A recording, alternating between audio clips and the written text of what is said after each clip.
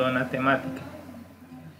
Queremos continuar con la temática que teníamos de la clase anterior acerca del proceso de helenización.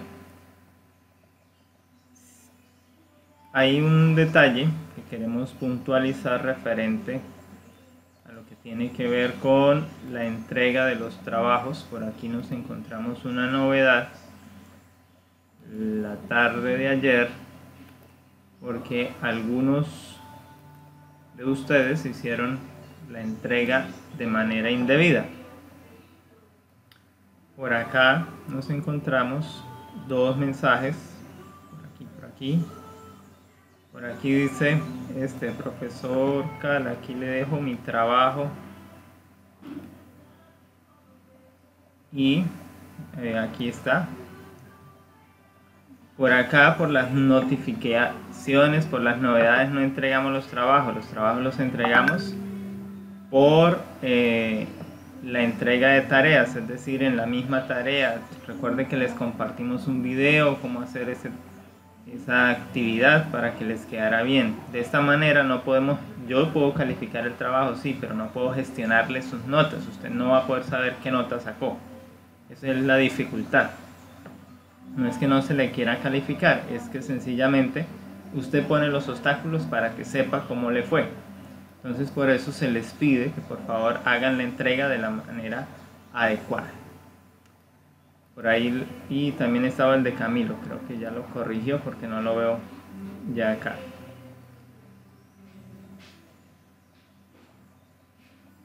Eso, recordarles también que deben organizar los nombres aquí no lo voy a abrir porque pues como estamos ya en línea, eh, pues se revelarían sus datos personales y no queremos que eso suceda. Por favor, entonces, organice. Si usted no sabe cómo aparece, mire, aquí en este globito donde aparece su foto, si no tiene la foto, le dice ahí cuál es su identidad, cómo está usted apareciendo en el sistema. Entonces ahí le dice, este personaje se llama de esta manera y este es su correo. Por favor, entonces organiza.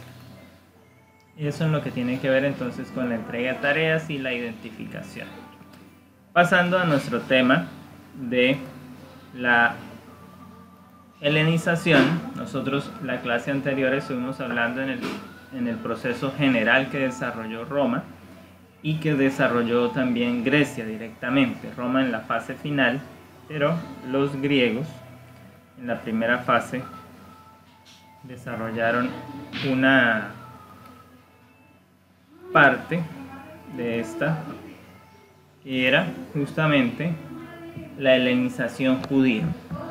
Entonces es una etapa que se desarrolla junto al pueblo de Dios, como se conoce en el término bíblico, el pueblo hebreo, ese pueblo que Dios ha seleccionado, que es descendiente de Abraham, que sigue las enseñanzas de Moisés, pero que ahora con el, avance de las conquistas de Alejandro, entonces se encuentra con una nueva cultura, que es la cultura griega, y la cultura griega pues termina permeando la cultura hebraica, la cultura judía, y entonces pues se produce el proceso de helenización en toda Palestina. Entonces es lo que vamos a explicarles en esta mañana. Entonces aquí vemos una foto actual de lo que es el enclave de las tres religiones monoteístas. Aquí tenemos entonces lo que es conocido como el muro de las lamentaciones, que es parte de lo que fue el muro occidental del templo de Salomón. Este esto es lo que queda de lo que fue el templo en el cual Jesús aparece en el escenario de las historias del Nuevo Testamento. Pero ya no tenemos una locación del templo judío, sino que solo queda un muro sobre el cual los judíos van a hacer sus plegarias y, generalmente entonces se le conoce como el muro de las lamentaciones. También tenemos la mezquita de Alá, un templo musulmán que se construyó en el área del templo y muchos otros enclaves eh, religiosos que tienen que ver con el cristianismo o más directamente con el catolicismo. De esa manera entonces tenemos tres religiones convergentes en la misma zona en nuestros días. Sin embargo, tenemos aquí estos eventos que están narrados en el libro de Daniel. El libro de Daniel, el libro que escribió el profeta Daniel mientras era eh, mientras estaba en el exilio, iniciando en Babilonia, pasando por Medo Persia, entonces él escribe unos acontecimientos. La primera parte que se escribe del libro pues es su llegada a Babilonia y luego se narra la historia de un sueño que tiene el rey de, de Babilonia, el rey Nabucodonosor. Y justamente dentro de ese sueño hay una sección de la estatua que hace alusión a Grecia bajo entonces los muslos de bronce, lo que identificamos aquí. Posteriormente, entonces tenemos que el libro sigue avanzando y luego se narran tres visiones que se le dan a Daniel. En el capítulo 7, versículo 6, Daniel está en una visión y ve un gran leopardo cuatro cabezas y cuatro alas. Entonces eso eh, como Daniel 7 corresponde o se correlaciona con Daniel 2, entonces las otras bestias identificaban una que era el león, otra que era un oso y el leopardo iría acá, entonces identifica a Grecia.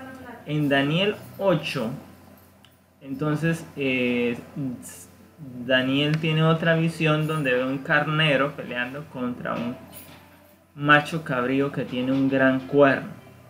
Y allí Daniel 8:22, entonces se especifica, Daniel 8:21, que ese carnero era eh, Grecia, se le da bíblicamente el nombre de Grecia, ese es el rey de Grecia. 8.22 dice que sería el cuerno, el primer rey de este imperio. Y finalmente en el capítulo 11 de Daniel, entonces aparece nuevamente un conflicto entre, los, entre el rey del norte y el rey del sur, que también identifica a Grecia, pero ya en la etapa final, esas contiendas que se dieron entre las cuatro cabezas o una vez que se quebró el cuerno, de acuerdo con la visión de Daniel 8. Eso es entonces en los términos bíblicos, para que noten que Dios ya había señalado cuál iba a ser el desarrollo histórico de este imperio es parte de lo que entonces Alejandro tiene en una visión muy temprana, donde recordamos que en la clase anterior decíamos, él tuvo una visión de un ser celestial que le mostraba que él iba a gobernar el mundo.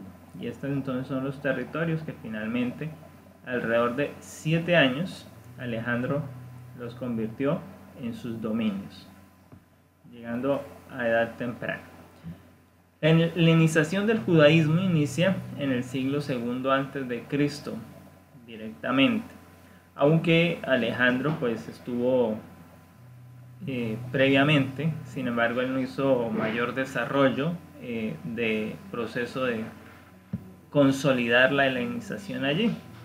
Recordemos que Alejandro pues llega entonces con una voluntad, pero que en ese encuentro que tienen, como lo vimos en la clase anterior, entre el sumo sacerdote que le recibe a la entrada de Jerusalén y Alejandro recuerda entonces la visión que tuvo siendo joven, donde veía ese ser celestial y entonces ahora reconoce que ese ser celestial que había visto en su visión era el sumo sacerdote de Jerusalén. Entonces por eso se rinde allí y adora al Dios de Israel con esta frase, bendito sea aquel a quien tú sirves. Algo que sorprendió a sus generales para ese momento, porque ellos no esperaban que Alejandro, el gran conquistador, terminara rindiendo en parte de adoración a un Dios que no conocía y doblándose o hincándose ante un, un hombre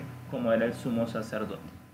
Entonces esos son los eventos que colocan a Alejandro en Jerusalén. Señor. Se lo olvidó grabar. Señor. Se lo olvidó grabar. Se lo olvidó grabar el, eh, el video. ¿eh? Usted cree que no estoy grabando, al revés. Usted es el que no se da cuenta que yo lo estoy grabando.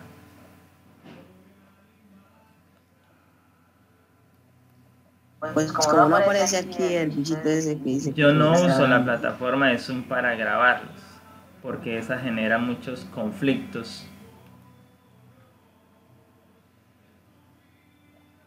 Entonces, como les decía, Alejandro de esa manera llega a Jerusalén, tiene ese encuentro con el sumo sacerdote. El sumo sacerdote lo invita pues a ingresar, a conocer algunos de los recintos del templo de Jerusalén. Ese es el primer pedido que hace allí, visitar el templo de Jerusalén. Esto es una transliteración del hebreo para el templo. Y quedó muy asombrado de lo que vio, pues sencillamente esta imagen que vemos que es una reconstrucción de lo que sería la arquitectura del templo de Jerusalén, nos permite apreciar eh, la grandeza de esa construcción. Por algo los judíos se enorgullecían de tener el templo y allí está descrito por varios historiadores como una de las glorias de Israel. Entre ellos está entonces el... Eh, Herodoto y Claudio Josefo, que hablaron acerca de las maravillas que era el templo de Jerusalén.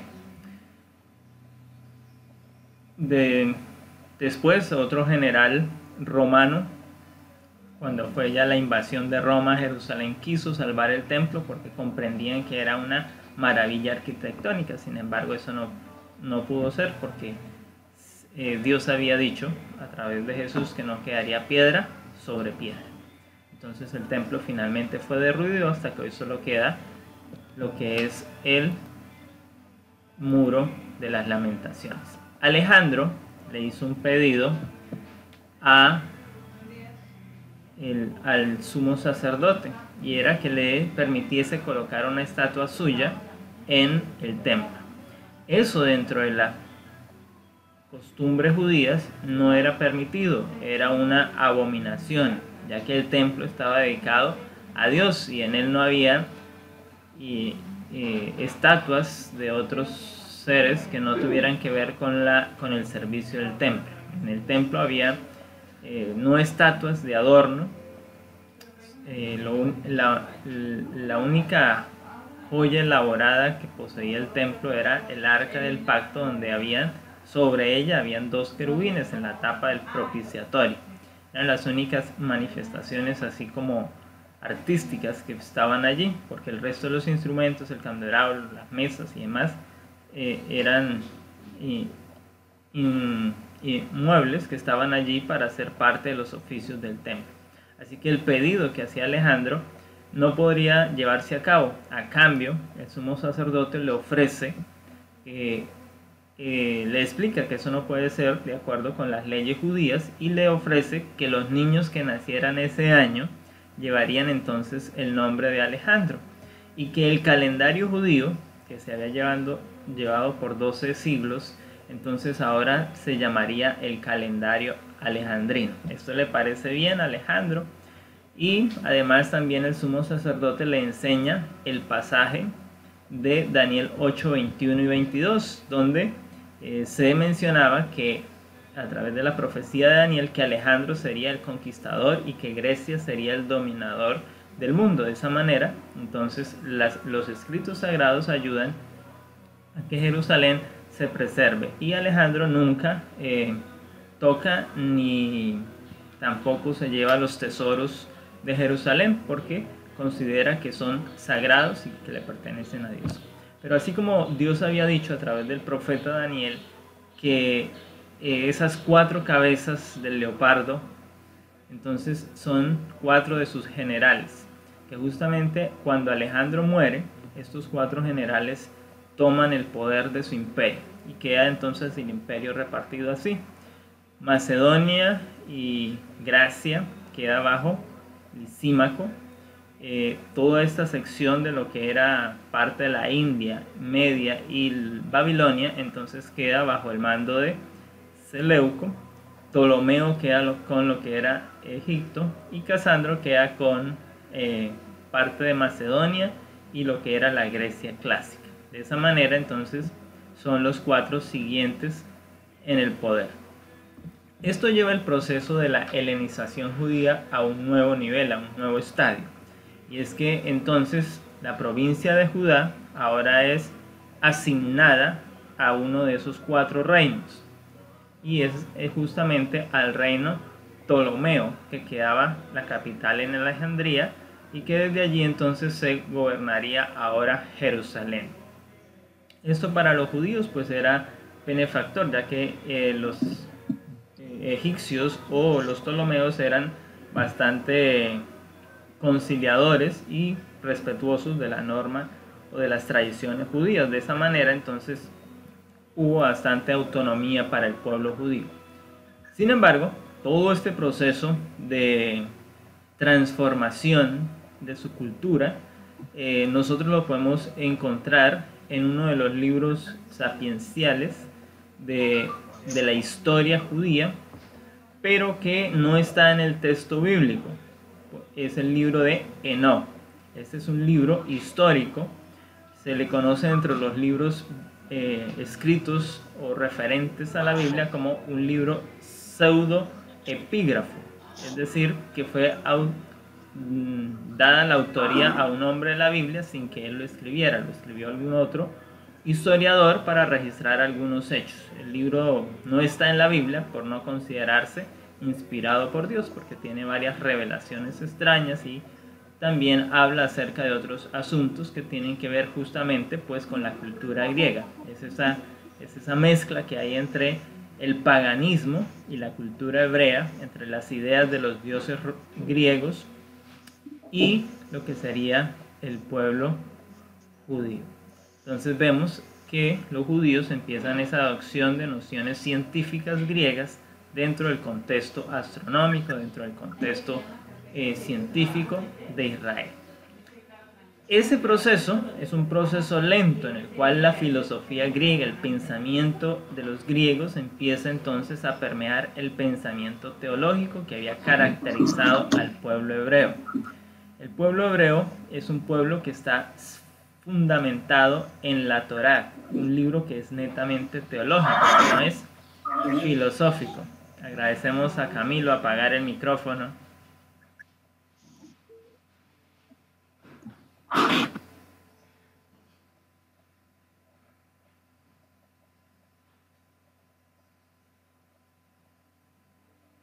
Este desarrollo del pueblo hebreo entonces le permite que se haya consolidado a lo largo de la historia como un pueblo espiritual, ya que eh, su relación era una relación con el Dios que les dirigía. Y entonces vemos todo eso desde el contexto de la salida de Egipto cuando se consolida la, la nación como un pueblo especial delante de Dios y luego vemos como Dios los les lleva hasta la tierra de Canaán y los establece allí. Entonces esto los hace un pueblo de un pensamiento teológico. Dios estaba presente en cada momento de sus vidas.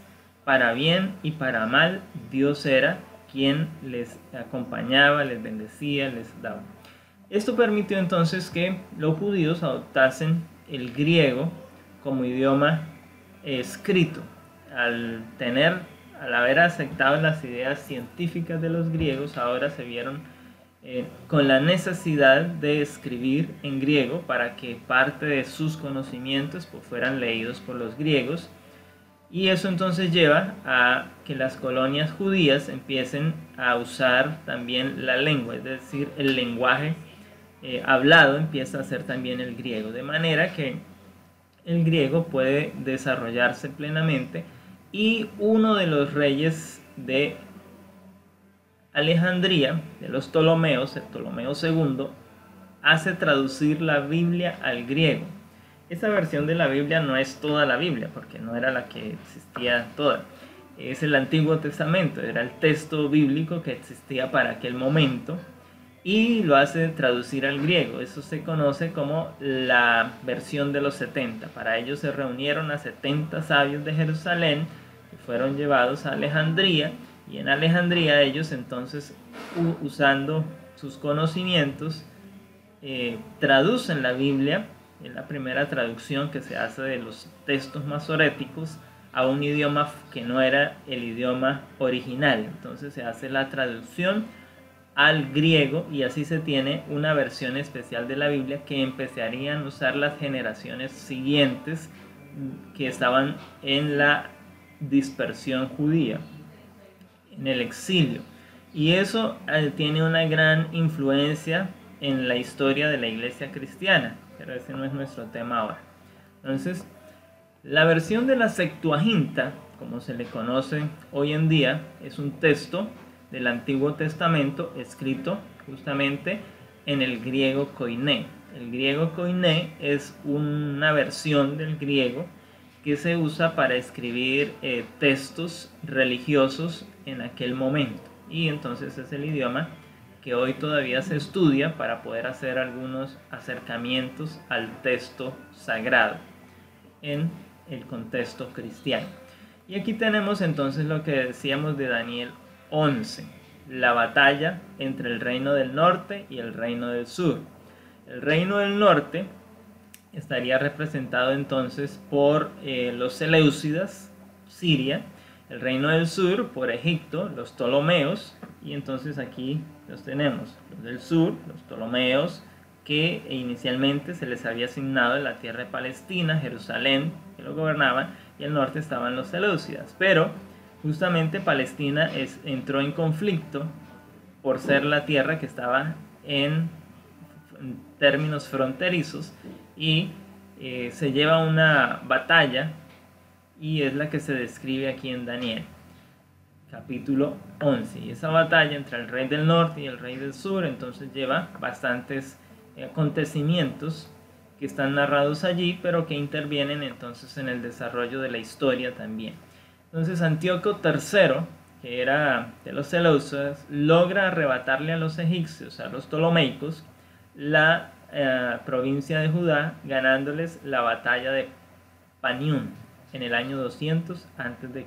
De esta manera, entonces, los Seleucidas, que tenían todo este territorio y estaban hasta por aquí, logran conquistar todas las tierras de Palestina y los ptolomeicos pues tienen que perder esos territorios.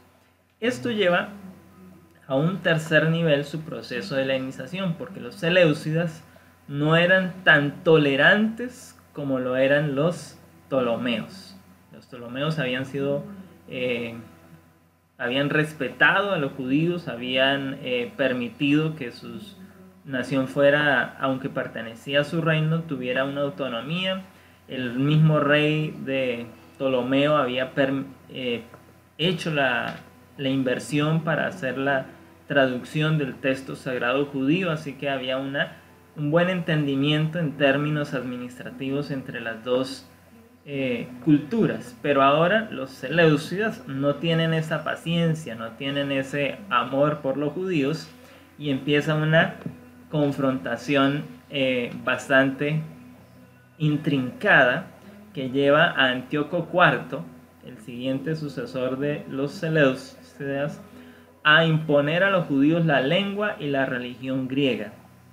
Ellos generan un una contienda inminente, se generan unas guerras de independencia en los territorios palestinos y, las dinastías eh, de los reyes palestinos entonces se van para eh, luchar contra Antíoco IV. Decíamos que el señor Antíoco IV hizo la abominación desoladora colocando una estatua de su dios, el dios griego Zeus, en el templo de Jerusalén. Además de eso, eh, terminó con el sacrificio que se realizaba en Jerusalén, donde a las 9 de la mañana, la hora tercera, y a las 3 de la tarde, la hora nona, de acuerdo con la cuenta bíblica, se realizaba un sacrificio vespertino y un sacrificio matutino que era un cordero que debía ofrecerse cada mañana y cada tarde. Pero ese, eso fue interrumpido y se cambió para ofrecer un sacrificio a Zeus. Y lo que se ofrecía a Zeus eran cerdos. Y los cerdos dentro del contexto bíblico, dentro de la historia judía, sabemos que son eh, animales inmundos. Por lo tanto, todo el proceso era una aberración completa para el culto, para la adoración al Dios verdadero. Por lo tanto, para los judíos esto se le conoce como la abominación de la desolación, porque todo fue acabado. De esta manera, esto es una, un hecho que se convierte en un evento proverbial que se usa en las generaciones siguientes para referirse a otros elementos que atacan o que destruyen la fe judía. De hecho, Jesús también lo usa, Pablo lo usa para hacer referencia a ello. Todas estas contiendas que se levantan entonces en contra de Antíoco IV por estos eh, acontecimientos que realiza, están descritas en los libros de Primera y Segunda de Macabeos, que en las Biblias católicas aparecen como textos inspirados por Dios. En las Biblias protestantes o en las Biblias de las iglesias cristianas no católicas no se conservan estos dos libros porque se consideran que no fueron inspirados. Están dentro de un tiempo que se conoce como los 400 años del periodo intertestamentario, en los cuales Dios no tenía profeta en la tierra. Por lo tanto, el relato de Primera y Segunda Macabeos no son relatos inspirados, son relatos históricos justamente de las batallas, de los conflictos de poder, de política, de economía que se libraban en Palestina frente al proceso de helenización. Ese es, y más directamente entonces frente al momento que desataron los Seleucidas cuando llegan a imponer a Israel la religión y el idioma. Entonces es lo que está narrado allí en esos libros. Por eso los cristianos no los aceptamos como libros inspirados porque Dios no los reveló, sencillamente los escribieron los cronistas de ese momento para que quedaran en la historia del pueblo judío. Donde muchos judíos murieron mártires, es decir, fueron sacrificados, se sacrificaron para liberar a la nación judía de la opresión seleucida. De esa manera entonces se organizaron guerrillas, como les llamaríamos hoy. En aquel momento no se les llamaba así, se les llamaban eh, disidentes, eh, rebeldes, que estaban eh, incitadores, eran los términos usados para aquel momento. Dentro de esos líderes que generaron la revuelta, lideraron la rebelión, entonces estuvo el sacerdote Matatías, estuvieron los hermanos macabeos, que justamente los libros se llaman así en alusión pues a los hermanos y ellos cada cual tuvieron su turno para liderar. El último de los hermanos macabeos fue Simón, que se declaró rey y encabezó una dinastía que establece una casa para reinar en Israel que sería la dinastía Hasmonea o los reyes Hasmoneos. De esta manera entonces logran independizarse de los griegos hasta que llegan los romanos.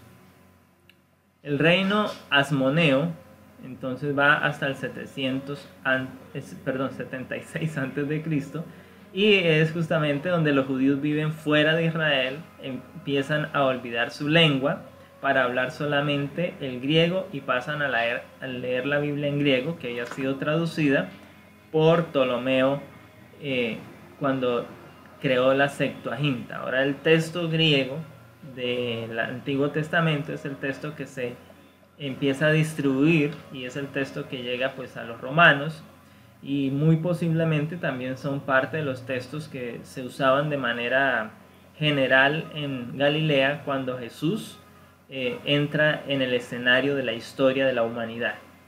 De hecho Jesús eh, también eh, desarrolló en parte conocimientos o eh, el diálogo en hebreo, porque encontramos en el libro de Juan que Jesús tiene un encuentro con unos griegos que lo buscan en el templo, eso está narrado allí en el libro de Juan. Y en ese encuentro Jesús dialoga con ellos de manera mm, natural, así que entonces podemos ver una de dos, o esos griegos habían aprendido eh, arameo, que era el idioma oficial de Israel, o Jesús había aprendido griego.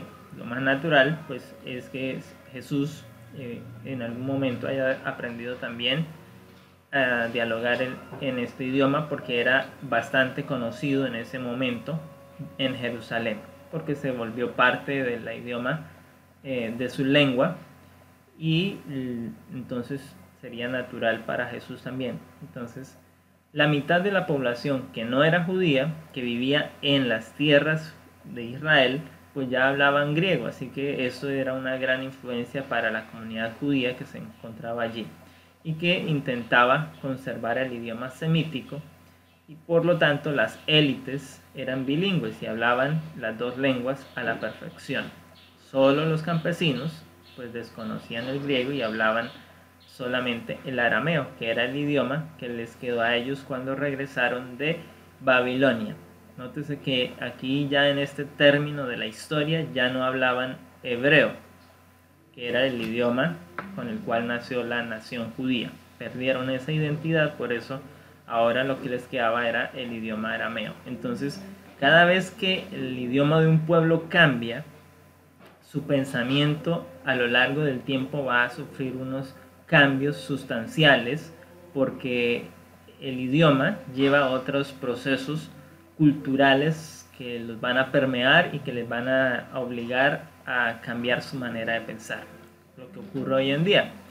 Hoy nosotros eh, necesitamos aprender un segundo idioma y este segundo idioma pues es el inglés y con ello entonces pues vienen otros intereses eh, de la línea capitalista, de la línea consumista que están emergentes en la sociedad moderna, las políticas neoliberales y demás. Entonces todo eso está eh, directamente ligado a lo que es el idioma y el, el término del escrito que pueda realizarse. Entonces de esta manera los griegos lograron permear la cultura judía y lograrlos entonces eh, helenizar.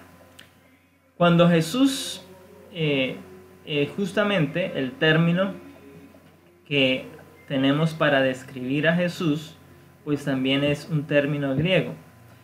Cristos, que es el, título griego que nosotros usamos para referirnos a Jesús muerto en la cruz, es justamente un término griego que significa ungido. En otras palabras, estamos reconociendo al decir Cristo que Él fue ungido, que Él era el elegido de Dios. Eso es la expresión griega. Y Pablo pues la usa mucho en sus cartas.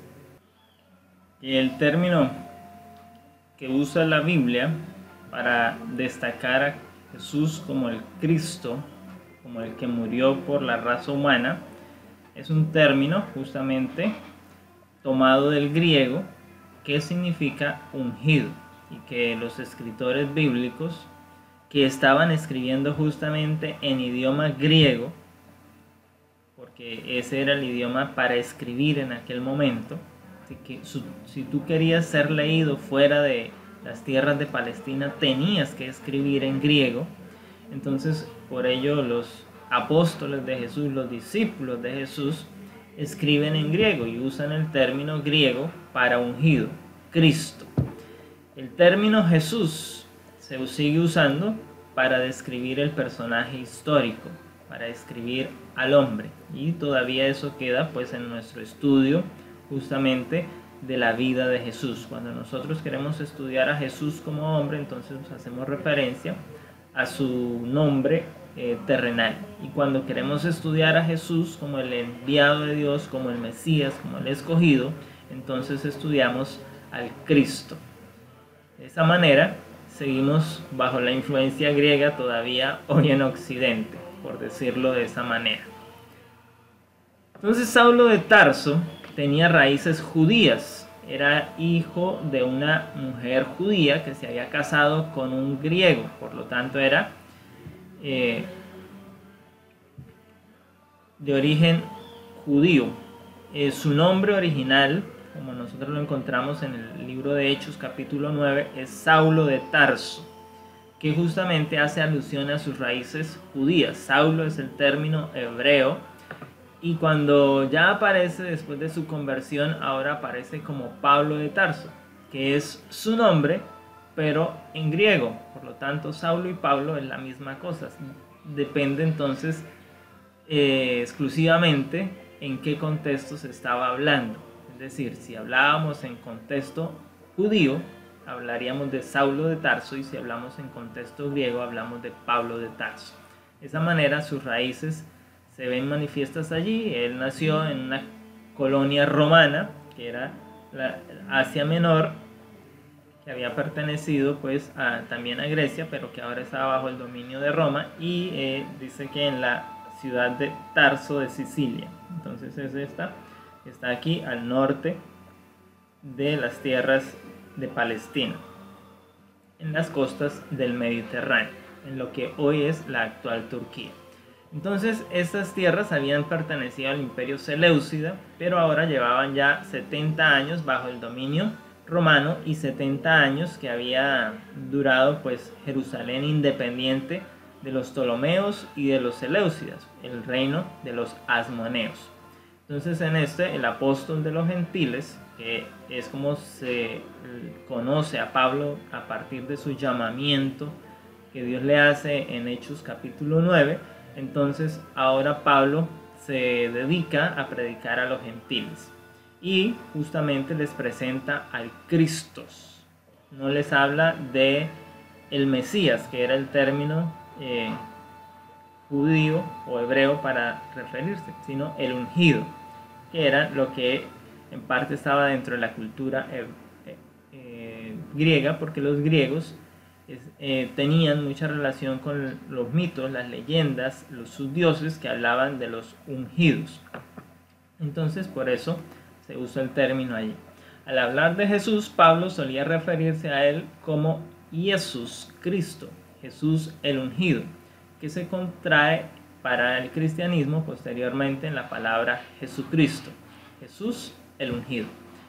Jesús Cristo. aquí vemos toda la connotación.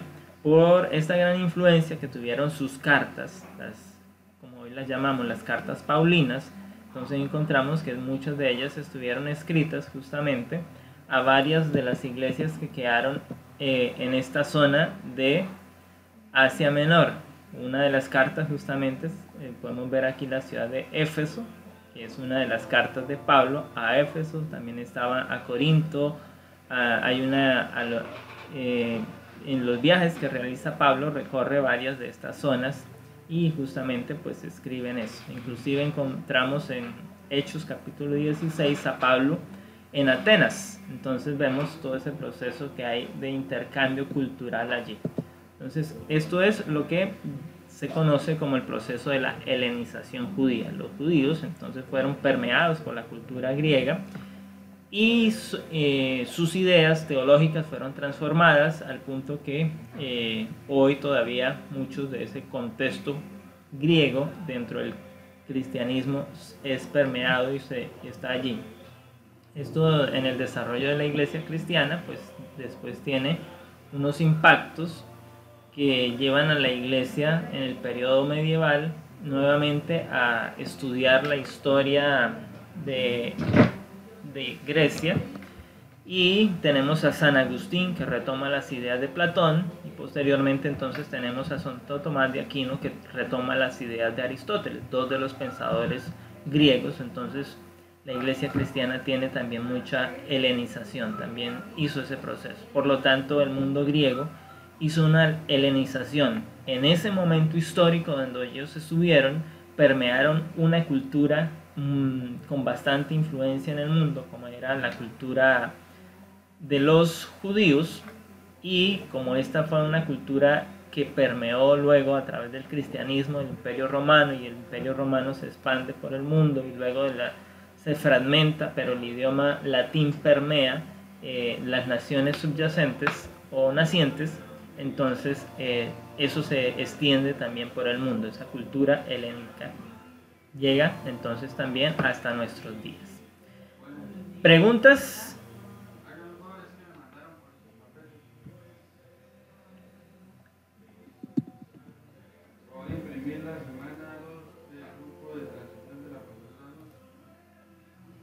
Recordarles que tienen unas asignaciones.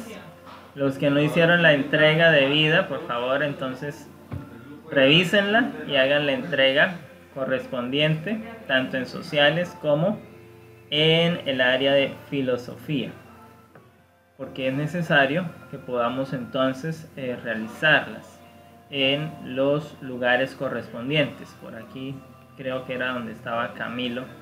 Así, aquí miren.